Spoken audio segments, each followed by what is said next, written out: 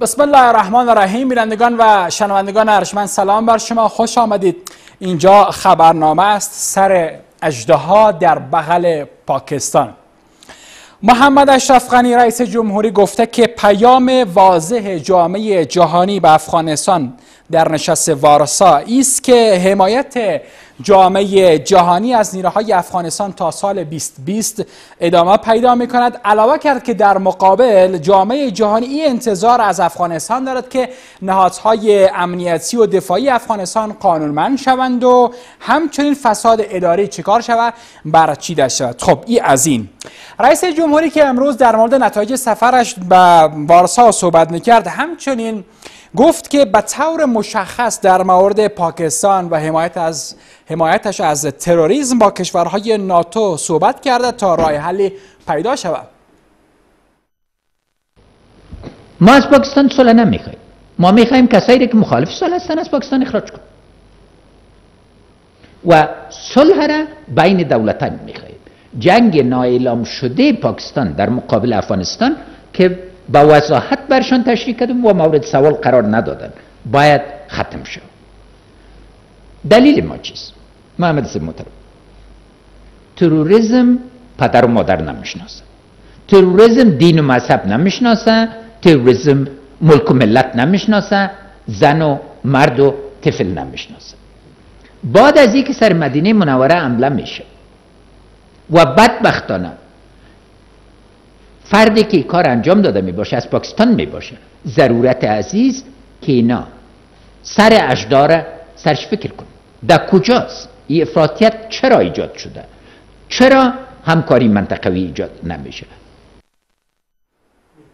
آقای اشرف غنی همچنین گفت که جهان اسلام را امروز یک اقلیتی به اندازه ناخون به گروگان گرفته که باید به این گروگانگیری پایان داده شود. جهان اسلام امروز یک اقلیت اینقدر برابر یک ناخون. گروگان گرفت. ما میراث کی داریم. میراث بزرگترین تمدن دنیا رو. علم ادب همکاری با تمدن های دیگه. جز فرهنگ ماست. بنابراین باید این گروگانگیری رو ختم کنیم. از این جهت است که پیغام ما با پاکستان هم پیغام مشخص است هم پیغام مثبت است. بین توریسم خوب و بد. هر مملکتی که در گذشته تفکیک کرده قیمت داد. کوریا امریکا رابطه بر اساس قوانین زمان جنگ.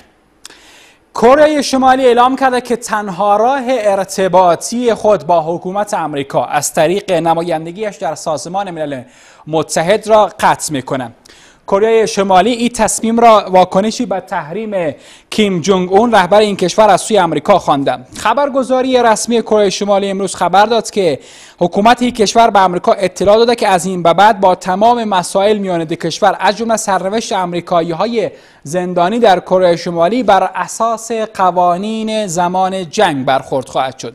حکومت آمریکا روز پنجشنبه گذشته برای اولین بار تحریم را در ارتباط با نقض حقوق بشر علیه کیم جونگ اون وضع کرد. ده مقام ارشد دیگر در کره شمالی هم شامل تحریم ها شده که همین موضوع سبب شد که کره شمالی امروز بگه که رابطه بر اساس قوانین زمان جنگ استوار میشه.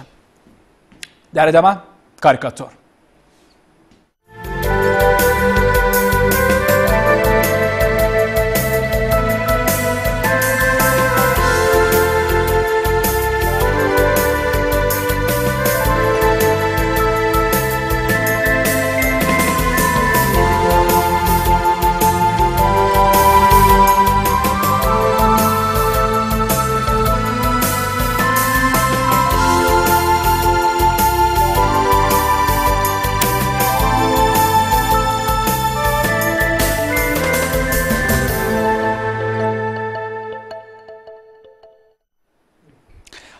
اردوغان به وزیر خارجه بلغارستان سیگرت نکش.